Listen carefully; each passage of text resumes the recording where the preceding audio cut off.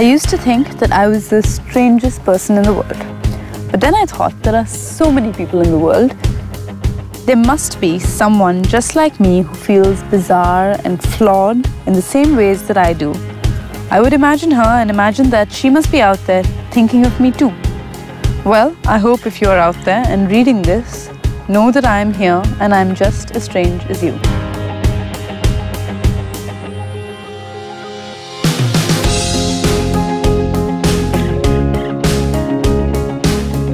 I don't know what it's like not to be an independent woman. I mean, I really don't. Right? I've always been an independent woman.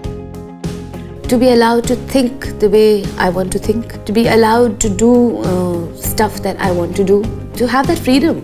What do women not do? I want to do that just to prove that it can be done. I understand with male colleagues this kind of picking up the bag and going is little scoffed upon, but I don't care. You know, we all try to be superwomen. That's the situation a lot of us find ourselves in. I'm not advocating staying at home, I'm not advocating working. I'm just telling you what worked for me. The more we have fearless, strong women walking around in India, traveling on their own, taking autos, taking buses, the stronger we are. जो ना जाने हक की ताकत रब ना देवें उसको हिम्मत